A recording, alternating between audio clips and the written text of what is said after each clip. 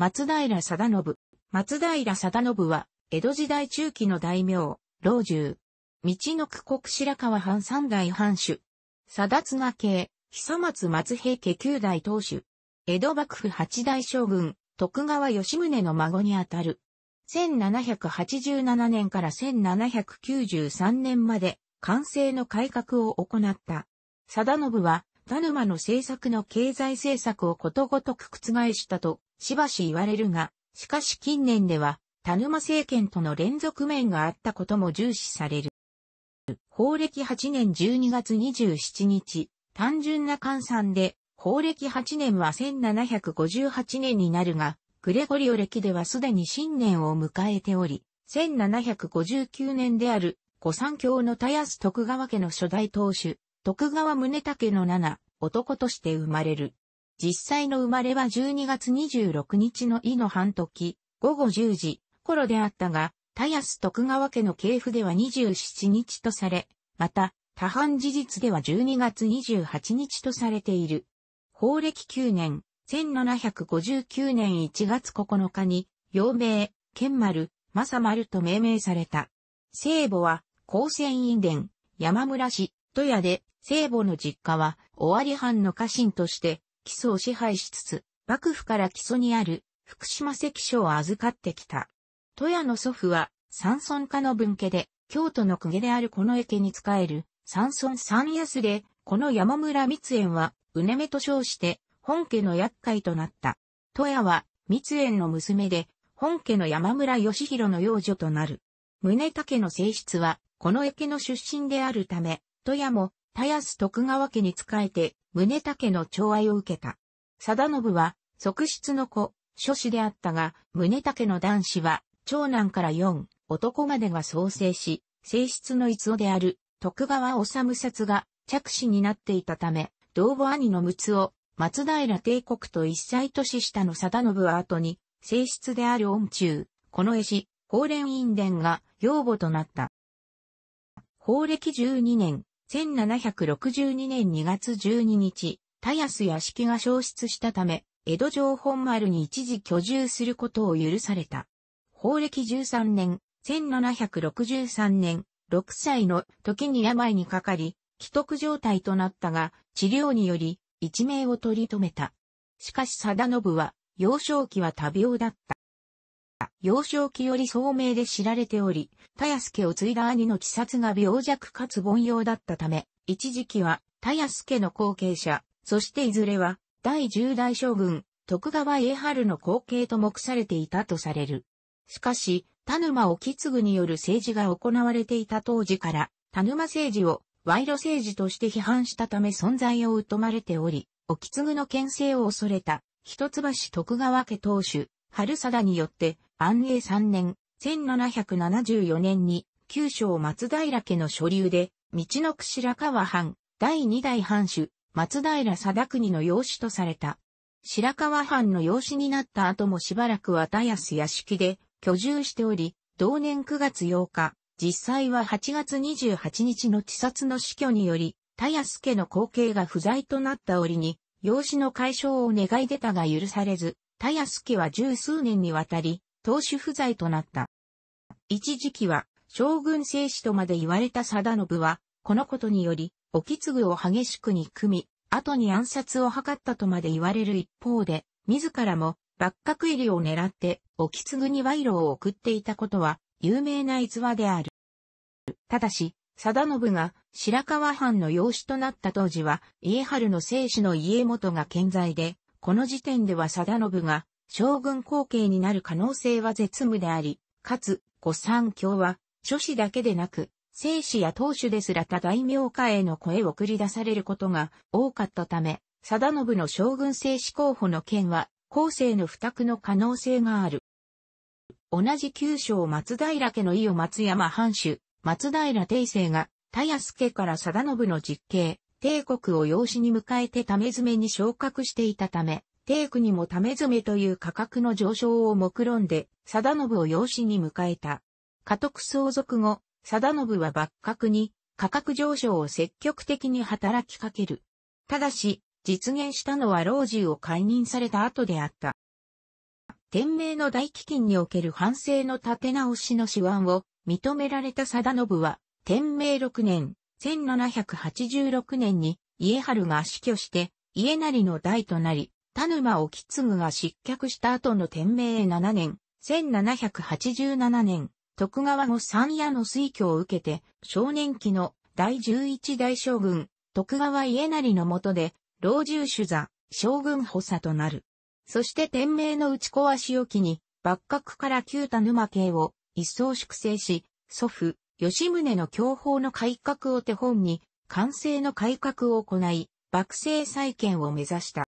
老中職には、不大大名が就任するのが、江戸幕府の不分律である。確かに、白河藩主、九章松平家は、不大大名であり、貞信はそこに養子に入ったのでこの原則には反しない。家康の直系子孫で大名に取り立てられた者以外は審判には列せられず、家康の直系子孫以外の男系親族である大名は原則として不大大名とされる。しかし、貞信は吉宗の孫だったため、不大大名でありながら、審判、五家門に準じる扱いという玉虫色の待遇だったので、混乱を招きやすい。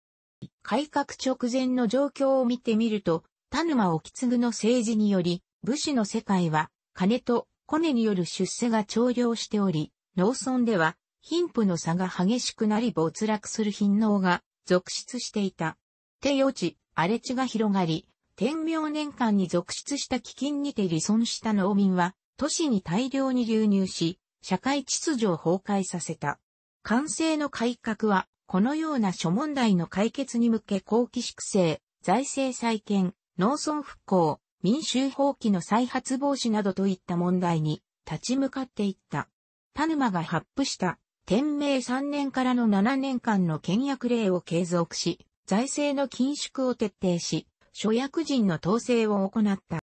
幕府財政の再建のために大胆な財政緊縮政策を行っている。幕府の金蔵は、吉宗時代の253万両から明和7年には備蓄金は300万両ほど溜まっていたが、天明の大飢饉の支出の拡大により金蔵はそこに聞けており、改革翌年の天明8年には81万両しか残っておらず、100万両の赤字が予想されるほど切迫していた。そのため、貞信は繰り返し厳しい倹約令を発布し、財政再建に努めた。幕府の赤字財政は改革により黒字に変わり、貞信失脚の頃には備蓄金も20万両ほど貯蓄することができた。福祉政策を行い、飢餓に備えて各藩で車窓、偽装に穀物を備蓄するよう命じた。また、インフラ整備などのために、町で積み立てる救済基金とも言える、7分積金を江戸の各町に対して命た。この7分積金は幕末になると、単に備蓄するのみならず、都市整備や産業振興のための貸付の元手としても活用されるようになり、明治維新の際の江戸城無血会場では多くの余剰金が見つかり、東京の街づくりに一役買うこととなった。さらに、治安対策のために、地元を追放された無宿人や不老者を一箇所に集め、石川島にて大工や米付きの訓練をする人足寄せ場を設けた。また、天明の大飢饉からの回復を目指したのか、人口増加政策も行っている。間引きの禁止、児童手当の支給を実施し、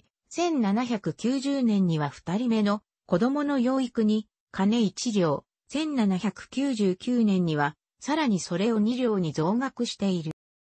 諸役人の統制として、貞信は勘定方30人、不審方20人の不正役人を罷免し、大官を2年間に8人を処断し19人の大官を交代させた。また、荒地や農業用水の再開発のために多額の公金貸付を行い、大官を地域の大官所に長期に勤務させることで農村の復興を図った。その結果、寺西重次郎、岡田清助などといった神社で神に祀られたりするような明大官が各地に誕生した。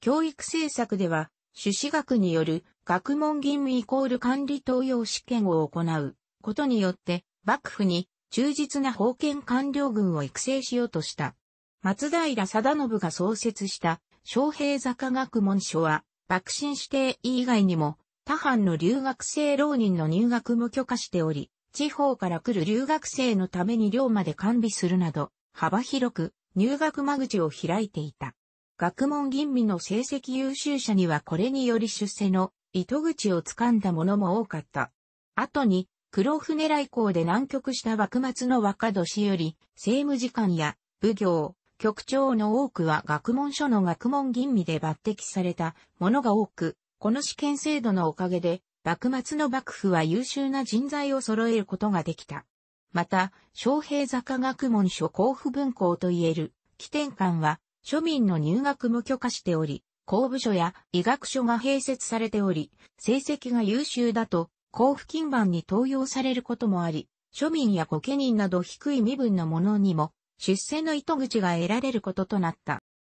同時期のヨーロッパでは、1792年4月20日に、フランスがオーストリアに宣戦布告して、フランス革命戦争が勃発すると、フランスの隣に位置するオーストリア領ネーデルラントも戦場となった。このことは、極東の千島でオランダ東インド会社が1643年に領土宣言をして以来、長崎との南北二極で日本列島を挟みたの欧米諸国を寄せ付けなかったオランダの海軍力が手薄になったことを意した。さらに、ロシアが南下を開始し、1792年9月3日、日本人漂流民である大黒屋光太夫らの返還と交換に日本との通商を求めるのアダム・ラクスマンが根室に来航した。翌1793年、オランダの戦況はフランス軍による制圧の様相がますます強まり、フランス革命戦争はヨーロッパ全域に波及する勢いで広がっていた。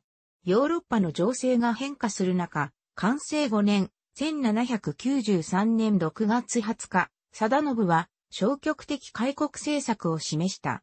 高太夫とラクスマン一行を正木に招き、幕府として交渉に応ずるよう指示。さらに、ロシアの貿易の要求を拒否しない形で、長崎のオランダ商館と交渉するようにという回答を用意し、高太夫を引き取るよう指示した。この時、貞信はラクスマンが長崎に来てしまったら、貿易をするしかないだろうと書き残している。同年6月30日、ラクスマンは長崎へは行かずに帰路に着いた。対外政策は緊迫した状況にあり、もし、オランダがフランスに占領された場合、ロシアが江戸に乗り込んでくる可能性があり、あるいは、千島領やオランダ商館の権利がフランスに移る可能性、また、イギリスが乗り込んできて、三つどもへの戦場となる可能性があった。貞信は、江戸湾などの解剖強化を提案し、また朝鮮通信使の接待の縮小などにも努めた。このように、松平定信の改革は一定の成果を上げたが、その厳粛な厳しい政治は後に、大田南穂により、白川の世紀に、魚の住みかねて、元の濁りの田の子式などと揶揄された。また幕府のみならず様々な方面から批判が続き、下記の尊号一件事件も絡みわずか6年で、老中を失脚することとなった。7月23日、貞信は解剖のために出張中、辞職を命じられて、老中主座並びに将軍補佐の職を辞した。この辞任は突然のものであったので、当時の楽種にて、五六年金も少々たまり詰め、各アラントは誰も白川と歌われた。天明の大飢饉から幕府財政が回復しつつある中、対外問題、外防問題と、まだまだ問題が残った時の突然の辞任だった。貞信辞任の2ヶ月後の9月、鎖国の金を破った罪人であるはずの大黒や、高太夫は、処刑を免れて、江戸城で将軍家成に謁見し、蘭学者たちは、翌年11月11日、1795年1月1日から、オランダ正月を開始し、高太夫も出席した。貞信の辞任は、キリスト教国からの帰国を許し、蘭学者勢力の流星をもたらした。貞信の辞任は、尊号一件が原因と言われることが多い。大政委任論では、朝廷の権威を幕政に利用するが、皇格天皇が実父の寛因の宮助人親王に、大乗天皇の尊号を送ろうとすると朱子学を報じていた貞信は反対し、この尊号一件を契機に、父である春貞に大御所の尊号を送ろうと考えていた将軍、家成とも対立していた。貞信引退後も幕府には、三河吉田藩主、松平信明、越後長岡藩主、牧野忠清をはじめとする貞信派の老中がそのまま留任し、その政策を引き継いだので、彼らは完成の異老と呼ばれ、完成の改革の路線は維持されることとなった。貞信の完成の改革における政治理念は、幕末期までの幕政の基本として堅持されることとなった。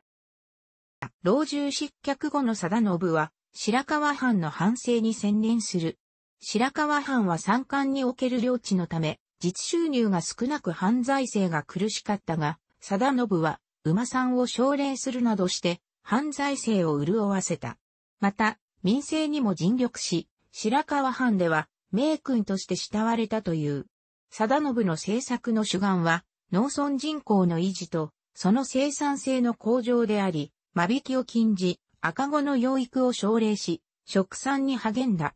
ところが、完成の改革の折に、貞信が提唱した江戸湾警備が文化7年、1810年に実施に移されることになり、最初の駐屯は首相者とされた、貞信の白河藩に命じられることとなった。これが、白河藩の財政を圧迫した。文化9年、1812年、家督を長男の貞長に譲って隠居したが、なおも反省の実験は掌握していた。貞長時代に行われた九章松平家の丘陵である伊勢桑名藩への領地替えは、貞信の要望により行われたものとされている。桑名には良好があったため、これが目当てだったと言われている。ただし遺説として、前述の江戸湾警備による財政悪化に耐えきれなくなった貞長、江戸湾岸の下総桜藩への転封によって、これを軽減しようと図ったために、桜藩主、堀田忠志愛やその一族である若年より、堀田正厚との対立を起こし、懲罰的転封を受けたとする説もある。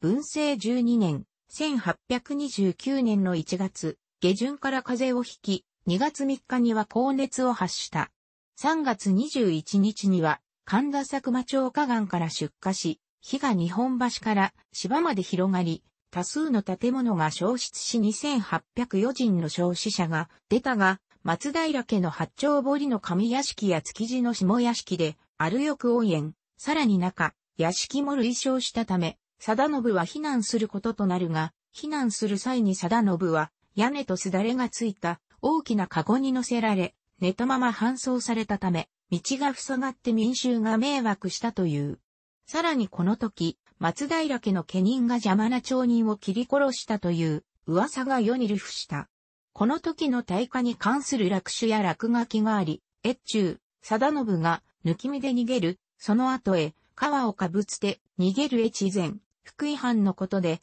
福井藩にも町人を切り殺した噂が流布していた。ふんどしと、かは、かぶりが、大かぶりと無届けの一枚釣りによって、多数刊行された。これは、完成の改革の際に出版統制を行った、貞信に対する業界の復讐であったとされる。屋敷の消失により、貞信は、同族の意を松山藩の上屋敷に避難したが、手狭のため4月18日に松山藩の三田の中屋敷に移った。この仮屋敷の中で病床にあった貞信は家臣らと抱えを開き、着手の貞長と反省に関して語り合った。一時は回復の兆しも見せたが、5月13日の8つ、時、午後2時頃からうめき声を上げ始め、7つ、時頃、猿の時、午後4時に医師が診察する中で、急に脈拍が変わり、死去した。去年72。時勢は、今更に何か恨み向きことも、楽しきことも見果てつる身は。墓地は、東京都江東区白川の霊岩寺にある。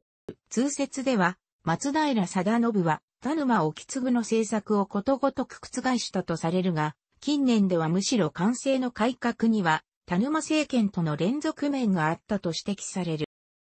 著書、江戸時代の古文書を読む、完成の改革においては、貞信の反田沼キャンペーンは、かなり建前の面が強く、現実の政治は、田沼政治を継承した面が畳みられる。特に学問、技術、経済、情報等の幕府への集中を図ったことや、不詳、不能と連携しながら、その改革を実施したことなどは、単なる田沼政治の継承というより、むしろ、田沼路線をさらに進化させたと言って良いであろうと書いている。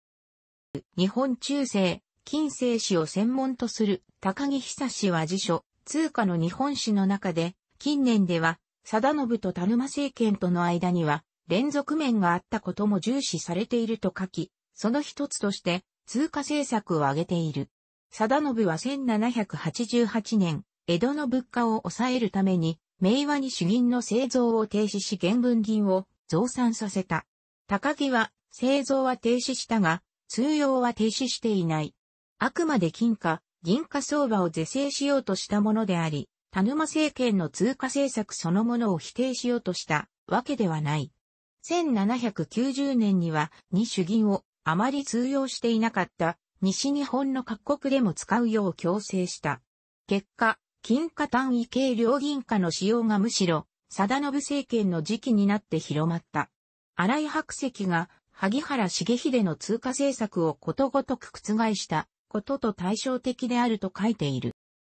他の通貨政策としては、田沼は金札、千札、許可したもの以外の銀札の通用を停止するなど、紙幣経済の発達を阻害するような政策を行ったが、松平定信は完成2年に伊勢神宮の越谷伊勢田商人が発行していた山田浮きを山田奉行発行に変更し、準備金の範囲内での発行、偽札対策などを徹底させるなどといった近代的な紙幣政策を行っており、山田浮きは事実上の幕府発行の紙幣と言える状態にするなどと紙幣政策においては、むしろ田沼よりも進歩的な政策を行っている。山田浮きが幕府すなわち山田奉行所の管理下に置かれたことにより、商人の都合による乱発が防がれ、通貨供給量が安定することとなった。